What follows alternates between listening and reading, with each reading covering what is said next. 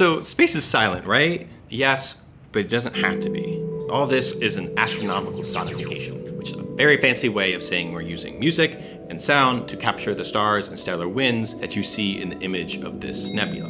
Astronomy has historically been a very visual science, but blind astronomers and astrophysicists are pioneering new ways to understand space data. Remember gravitational waves?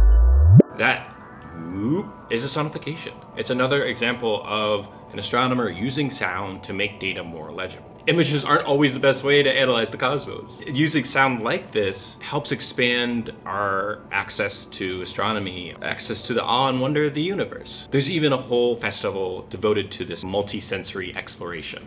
I actually went to this festival this past summer. It was in Italy, and I wanted to see whether people who are blind and partially sighted actually get anything out of uh, these fancy little beeps and boops. The festival organizers rigged up an 800 year old clock tower to play a bunch of sonifications on a loop, and then at night they'd project visualizations of these compositions onto the face of the tower. I met people like Mattia Grela, who's a hardcore Trekkie and was creating a patch made out of different fabric textures to represent the different parts of a galaxy. For Mattia and the other blind people I talked with, the festival was a success. They showed me that the universe really can be experienced in all sorts of senses, in sound, touch, even smell.